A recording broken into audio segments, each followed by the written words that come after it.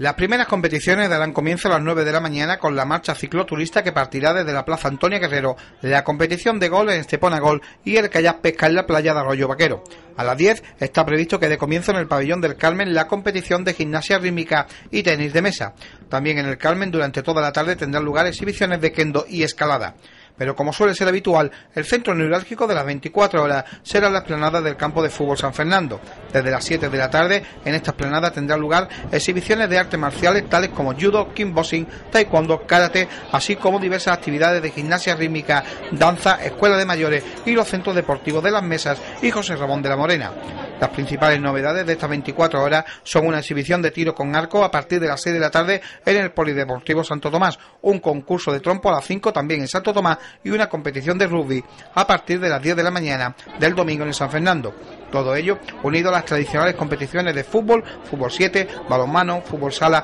fútbol aficionado y baloncesto con doble ración. La competición de las 24 horas y la Peque Copa componen el programa de actividades de la gran fiesta del deporte esteponero.